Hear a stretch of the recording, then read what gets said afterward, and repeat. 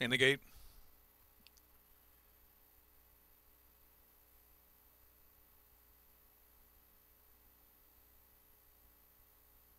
And they're off.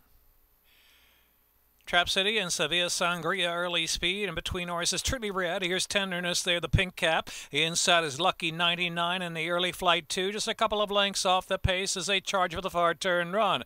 YU Sassy settles over on the inside. Awesome Pal in the two path as they round the turn now. And next is Creative Alibi. Racing back in the pack, we have Megalomania. Rona's the one widest of them all, and Freedom Queen at the tail of the field. Three furlongs left to run. Trap City's out there. Trap City, Truly Red stoking up around on the outside. Tenderness is third, and Lucky 99 down inside their fourth. On their four or five lengths of Via Sangria, then back to YU Sassy's next. And the inside is Creative Alibi, who cuts the corner for home. Into the stretch for a long and a half left to run. And Trap City with the outside, Truly Red. In between horses, Lucky 99. Lucky 99 now barging on through. Lucky 99 to the front with a 16th of a mile left to go. Lucky Lucky 99 and Trevor McCarthy flashing home to win. From Truly Red second. Then it with Trap City, it's close to the next spot. Sevilla Sangria in there.